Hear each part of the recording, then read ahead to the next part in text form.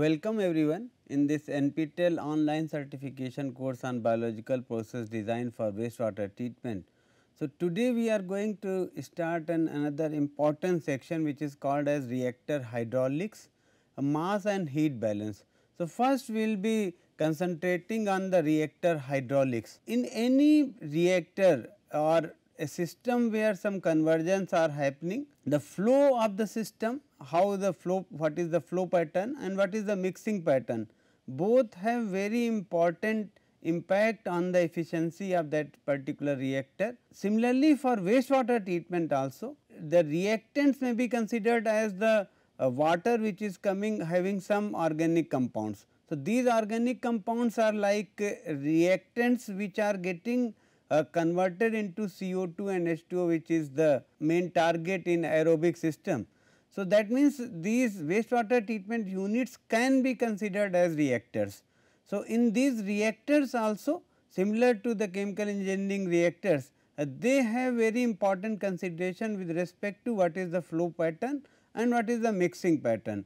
So, both have very important impact on the efficiency of the uh, wastewater treatment uh, during the processing of the wastewater or during the treatment of the wastewater in these units. So, reactor hydraulics of any reactor is a function of the type of the flow that is what is the uh, how the flow is happening and the mixing pattern in the unit itself. So, any wastewater treatment plant can be modeled with respect to hydraulic model by determining its flow pattern and the mixing pattern. The mixing pattern depends upon the physical geometry of the reactor, the quantity of energy introduced per unit volume and the size and the scale of the unit and various other factors. So, these this is reactor hydraulics is the thing that we are going to study uh, in today's lecture. In terms of flow, so uh, we can characterize the systems into two categories either batch or continuous. So, in intermittent flow or batch. So, in this case we have discontinuous input and our output. So, in one of the cases like in simple batch process what we do is that we have a reactor in which the initially the reactants or the wastewater flows and remains inside the reactor until the treatment happens for certain period of time then that will be dependent upon the hydraulic time or retention time. So, after treatment the wastewater will be taken out. So, this is a process which is called a batch process. In this there is no flow in or flow out during the treatment process. It is possible that flow may be out or it is possible that flow may. So, that in those condition it is called as semi batch reactor. Now, when a reactor is there like this reactor in which there is a continuous flow of reactant and the products are also being taken out continuously. So, both are continuously in process. So, that condition is called continuous flow where we have continuous input and continuous output. Now, in terms of mixing pattern we can define various types of uh, reactors and these reactors are called plug flow reactor, completely mixed reactor, then we have dispersed flow reactor and then reactor in series or in parallel. So, we will be trying to learn each of them little bit so as to we can understand the concept and how they can be useful during the biological treatment of wastewater. So, we are going to learn them each of them in greater detail. So, main types of reactor used in the sewage treatment or wastewater treatment. First is the ideal plug flow reactor. So, plug flow reactor that we are going to study. So, ideal is the one which is same as what is the in during the ideal condition. So, ideal plug flow is the one in which each fluid element leaves the tank in the same order of entrance.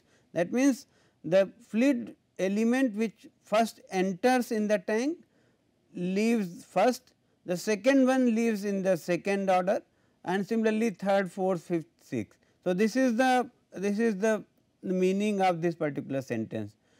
The flow occurs as pistons moving from upstream to downstream without mixing between the pistons and without dispersion. Each element is exposed to treatment for the same period of time.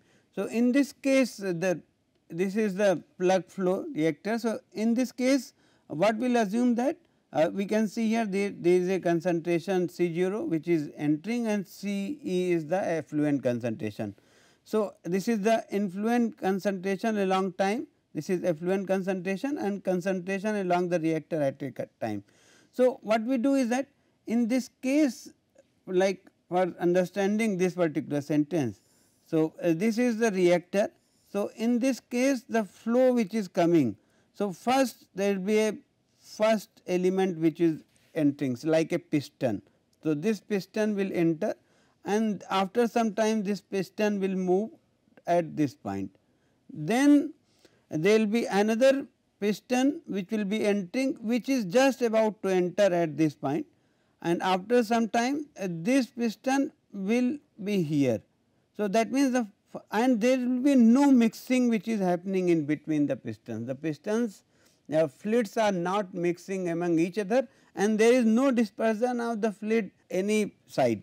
So, this is so this first element which is there and the second element this is first and second after certain time the first element will come out okay, and the second element is about to come out. So, there is no mixing between the pistons or the fluid pistons we are considering. So, this is called as plug flow reactor. Now, this is what is described depending upon whether the reactants are reacting or non-reacting the profiles may be different. So, this is what we are going to study. We will take example and understand this. So, a reactor with predominantly longitudinal dimension has a volume of 3000 meter cube. So, it is given that a reactor is there which is having a volume of 3000 meter cube. The influent has the following characteristics. The influent which is coming to the reactor uh, is having a following characteristic which is 600 meter cube per day is, is the flow rate. Substrate concentration at the inlet is 200 gram per meter cube. Calculate the concentration profile it may be considered as milligram also or gram per meter cube is okay. So, calculate the concentration profile along the reactor assuming an ideal plug flow reactor under steady state in the following condition. In one condition it is assumed that the substance which is coming is conservative that means it is not degrading at all and in the second condition it is assumed that the substance is biodegradable substance which is getting removed uh, via first order reaction kinetics and the K is 0.04 per unit day. So, these two conditions are there. So, we have a reactor a long ideal flow reactor we do not know exactly the length, but we are assuming this is very lengthy. Uh, it is having a volume of 3000 meter cube. The flow is coming which is having 600 meter cube per day is the flow and it is having a concentration of 200 gram per meter cube which is like 200 milligram per liter. So, this is same. So, this is the concentration and we have to find out what is the exit concentration under two conditions when k is equal to 0 and another when k is equal to 0.4 per unit day. So, this is there. So, we have already given reactor volume, influent flow rate, the substrate concentration. The hydraulic detention time is also known to us because we have volume known to us and Q known to us. So, V by Q is 5. So, we have 5 day is the hydraulic detention time for this particular reactor. Now, going further if we try to use the equations which have been earlier used. So, for the ideal flow reactor actually the for first order kinetics the expression is C 0 is equal to C is equal to C 0 e raised to minus k t. It is same as for batch reactor that already we have studied the reactor kinetics. So, this is the now if k is equal to 0 that means uh, the conservative substance is there and there is no degradation.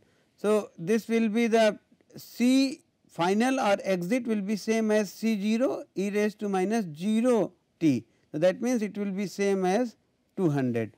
In this case we have 0.40 is the k value the reaction degradation rate constant. So, we can find out so, with time like uh, time travel time on 1 day, 0 day, 2 day, 3 day, 4 day, 5 day and with this we can find out the distance total upon total length. So, we can take like this and since for the first case when k is equal to 0 and another k is equal to 0.4 and initial concentration is 200. So, we can find out for conservative conditions when k is equal to 0 the concentration profile remains the same whereas it decreases with increase in time. So, we can draw a figure like this the concentration in gram per meter cube remains constant and there is no mixing or nothing is happening with reactor distance whereas the concentration decreases continuously uh, by the first order reaction kinetics and we can see that at the exit the concentration is around 27 gram per meter cube for 5 day retention time. So, this is what is we are getting the profile is this is the profile and this is for ideal flow reactor. Then there is another type of reactor which is called as ideal complete mix reactor. So, the reactor with discontinuous flow or ideal complete mixing condition is the one in which all the elements that enter the reactor are at the same instant they are totally mixed or dispersed. So, this is the condition which is called the ideal complete mix reactor. The reactor contents are homogeneous that is the concentration of any component at the same point in the tank is same at any of the point. As a result the effluent concentration is same as that of the point in the reactor. So, this reactor is like so this is a mixed reactor. So, we have one thing is that we have very continuous mixing. So, that means this is all throughout continuous. Now, the influent is coming at some flow rate and the effluent is also going outside at some flow rate. It is having a concentration C 0. Now, suppose the concentration is C inside the reactor. So, inside the reactor there are two conditions which are getting followed. One is that that the this whole solution is solution is homogeneous. First thing that it is same or the reactor contents are homogeneous at any time and so this is at homogeneous or we can call them uniform. Now this is true for this is also called CSTR complete mixed tank reactor. So this is also called as CSTR sometimes it is called as complete mixed tank reactor. So, remember this and for like activated sludge process can be modeled as complete mixed tank reactor. Now, this is true for CSTR. Now, for ideal uh, for PFR the plug flow reactor that we studied earlier, the solution will not be homogeneous because in this case for CSTR any suppose this is the point. So, whatever is the concentration here same is the concentration at this point, this point, this point at any of the point whereas in the ideal flow reactor uh, the plug flow reactor the concentrations are not uniform and uh, here the concentration is higher whereas the, here the concentration is lower as we have seen earlier. So, this is that means the for PFR it is not homogeneous non homogeneous is the solution and this is the difference and this is non uniform also or uh, we can see any of the, these things. So, the solutions is non-homogeneous for the case of plug flow reactor where it is homogeneous for CSTR. So, this is the difference. Now, now mass balance for the reactor can be written like this. So, this is complete mixed reactor we have C 0 and the, that means there is another condition that if C is the concentration inside the C will be the concentration outside and if we are assuming C so, it will be C here also. So, this is the ideal mixed reactor complete mix effluent concentration a long time effluent concentration then concentration along the reactor we can find out. So, for this case the balance in any of the reactor is generally written like this. So, we can write the balance in terms of actual values using uh, some calculations you can refer to any of the books and we will be finding that the different types of profile we can solve. So, one is for the conservative substances where the k is equal to 0, then biodegradable substance with reaction order like 0 order reaction, then biodegradable substance with first order reaction where the rate of reaction is written as rate R is equal to K C. So, we can have different conditions. So, under different conditions we can have different profile. So, it will be C is equal to C 0 or effluent concentration will also be equal to C 0 for the case where the conservative substance is there. So, this is concentration along inside the reactor or we can write that inside the reactor. The, along the reactor will be more true for plug flow reactor and then for the case where 0 order reaction is the profile will be like C is equal to C 0 minus KTH. For first order it will be C 0 C is equal to C 0 divided by 1 plus KTH and the outside concentration will be same as any other inside reactor which is true for CSTR. So, for CSTR the effluent concentration is same as the concentration inside the reactor at any given time. So, these, these are the equations which can be used for solving problems related to CSTR and here in this case in the previous slide the C is the concentration at any given time in the reactor, C 0 is the concentration uh, effluent concentration uh, which was the initial concentration, K is the reaction coefficient or the reaction constant, uh, D is the distance along the tank which will not be for the which is only true for the uh, plug flow reactor, TH is the hydraulic detention time. We can find out. So, this is the question again a reactor has approximately square shape and good mixing condition as is having a volume of 3000 meter cube. The influent has following characteristics, the flow is 600 meter cube, the substrate concentration is 200 gram.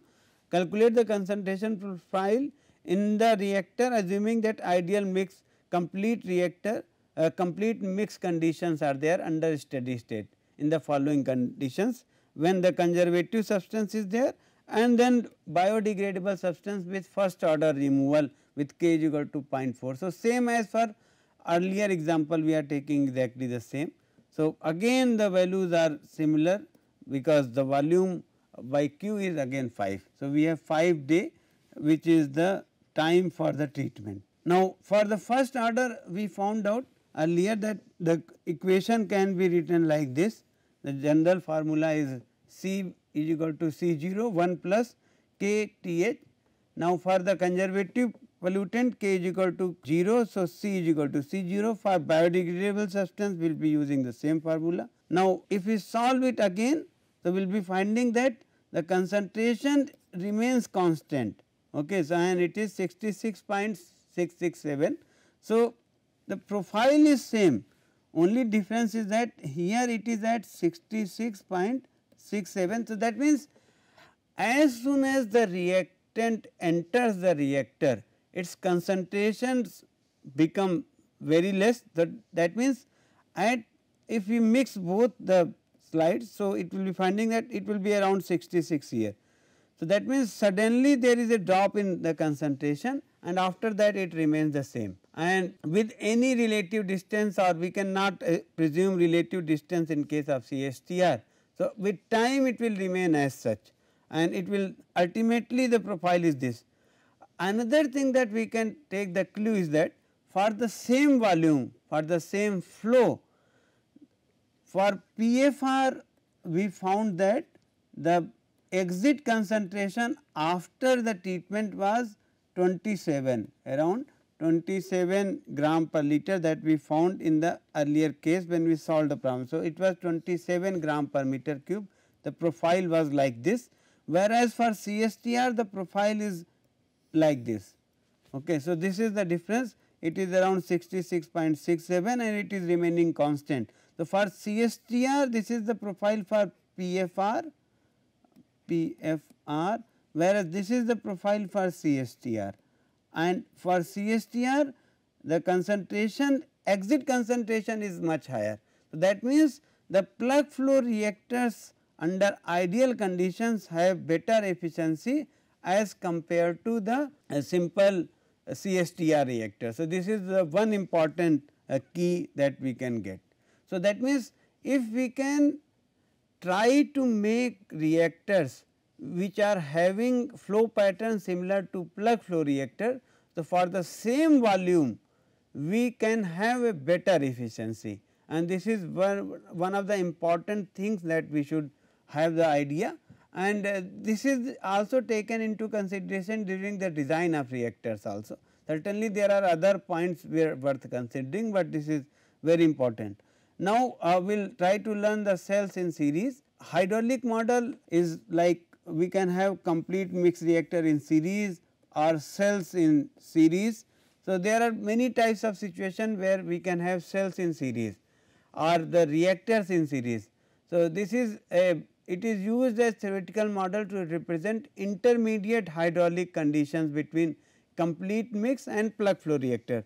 So, it is possible that our system is neither CSTR, neither CSTR and nor PFR.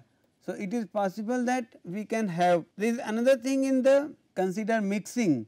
So, this here mixing is 0 we are not assuming any mixing whereas in CSTR we are assuming complete mixing. So, it is like mixing is up to infinite value. So, this is these are two extreme cases and it is possible that our reactor may fall in between. So, in this case how to model those reactors we can do it by modeling them uh, cells in series.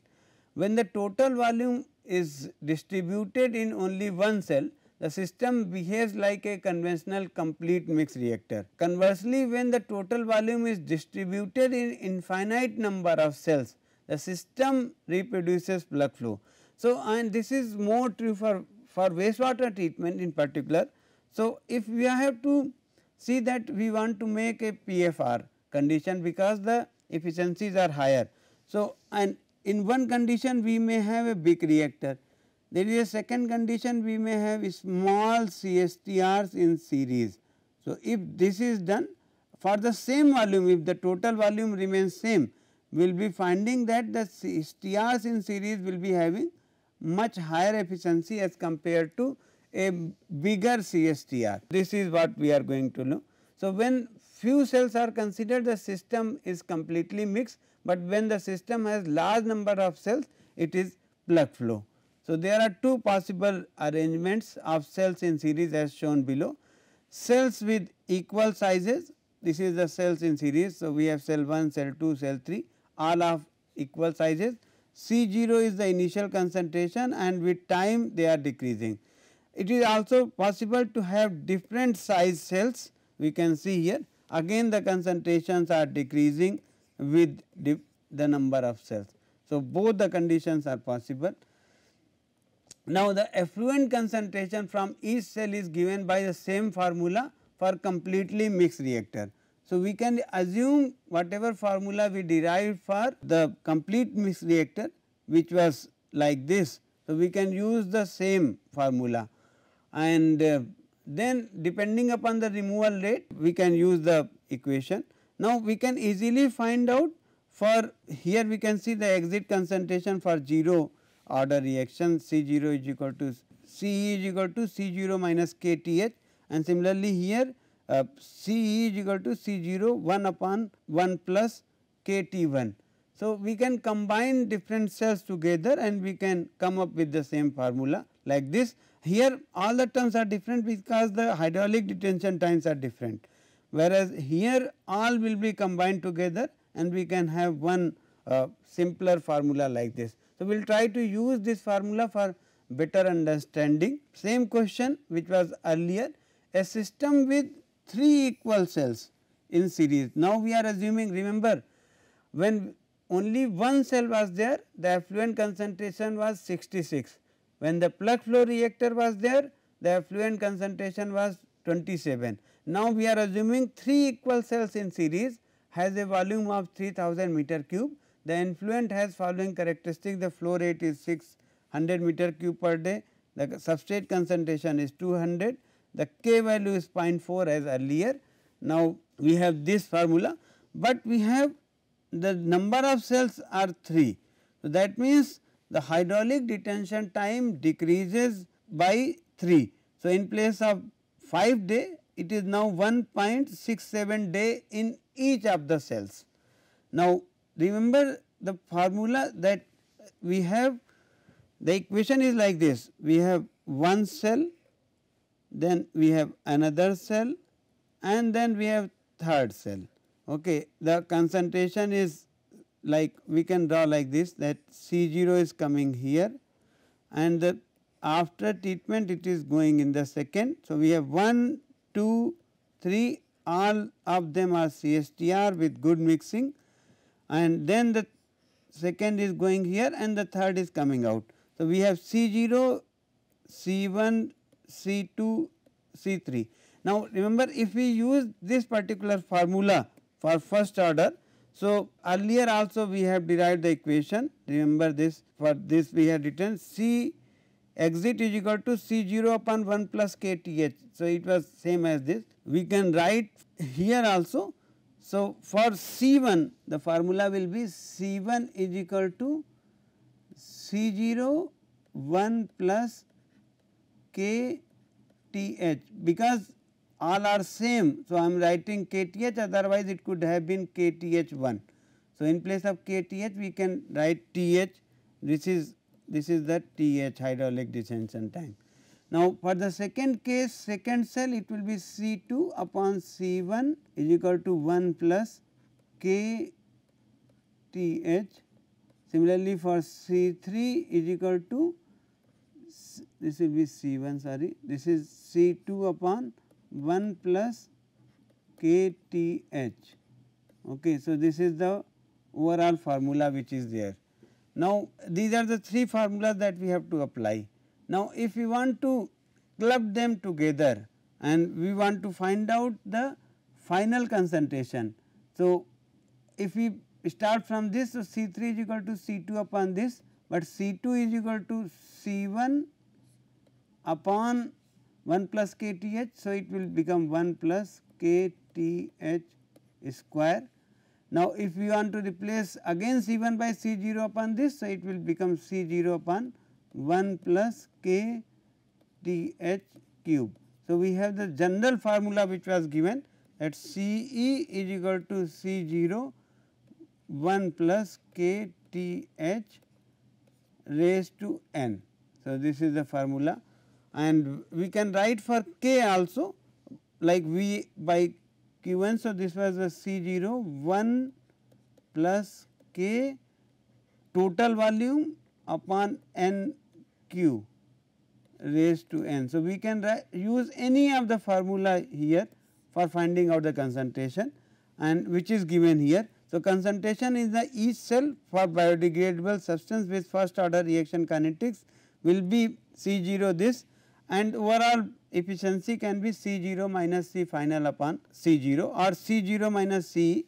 So, we use this formula for this is the D the detention time 1 2 3 the k values are there C 0. So, after first cell it will be 119 then 71 then 43.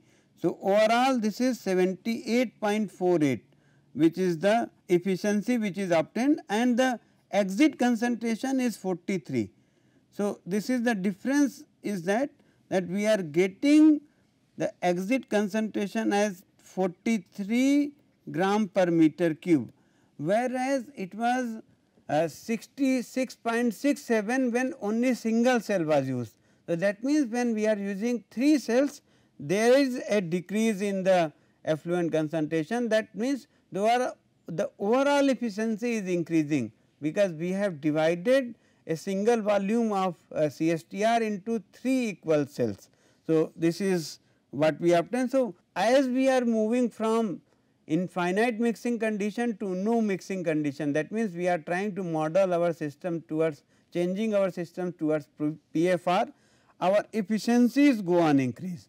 So, uh, this is the learning and in each of the reactor the concentration is decreasing we can see here So, this is the the effluent which is coming at 43. So, we we today we learned a lot of things regarding the ideal plug flow reactor in which is it, it is assumed that there is no mixing the it is a flow like piston which is moving from one section to another and there is no mixing in between. Then we have CSTR or complete mixed tank reactor or complete uh, mixed reactor whereas where infinite mixing takes place. So, we uh, try to learn the formula and find out the concentration. Then we model another case where we are assuming that the concentration uh, the CSTR a bigger CSTR is replaced by a number of CSTRs in series and we found that when the same volume of reactor is there for a bigger CSTR and 3 CSTRs in series. So, the in series reactors have better efficiency and the exit concentration is much lower as compared to single CSTR. So, overall efficiency is increasing. So, we will continue this particular section with respect to reactor hydraulics in the next slide and next lecture and we will learn regarding the dispersed flow and other things. So, thank you very much.